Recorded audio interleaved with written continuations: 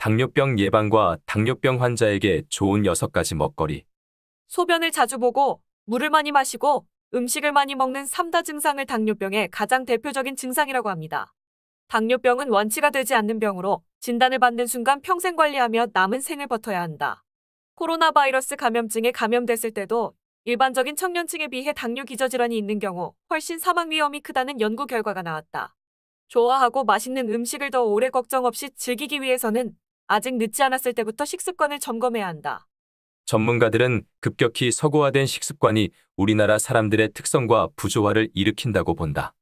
한국인은 기본적으로 인슐린을 분비해 당을 조절하는 역할을 하는 췌장이 서양인에 비해 작고 기능도 떨어진다.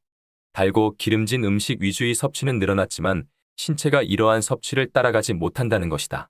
당뇨병에 걸리면 젊은 층도 노년층 못지않게 코로나19로 인한 사망 위험이 커진다는 연구 결과도 있다. 당뇨병 예방을 위해서는 무엇보다 체내 당 조절 기능에 무리가 갈 정도로 혈당이 빠르게 치솟는 일을 되도록 피하는 것이 중요하다. 이를 위해서는 균형 잡힌 식단에 식사를 규칙적으로 하는 것이 좋다.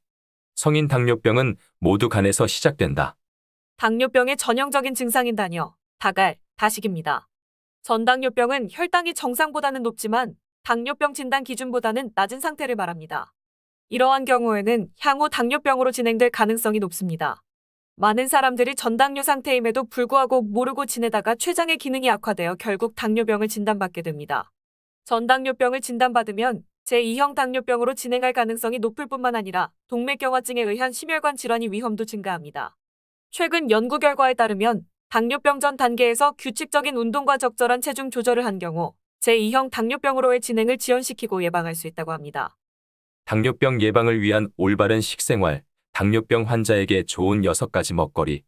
참마산약은 한방약으로 사용되고 있으며 비장을 튼튼하게 하고 폐를 보하며 정력을 다져주는 효능이 있다고 하여 자양강장, 소화촉진, 허약 체질인 사람 등에게 좋은 식품이다.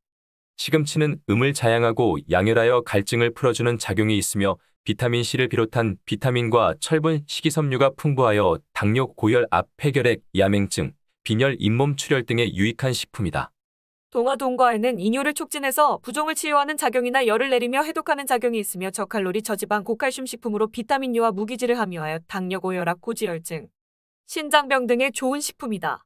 호박은 성질이 덥고 맛은 달며 중기를 보하고 지혈과 혈당을 내리는 효능이 있어 당뇨, 고혈압, 심장병, 고지혈증 등의 좋은 식품이다. 호박에 함유된 과교는 식사 후 혈당을 억제해주고 크롬은 인슐린 분비를 정상화시키는 것을 촉진하여 혈당을 낮추어주며 고섬유질은 대장운동을 증가시켜 변비의 치료 효과를 가져온다.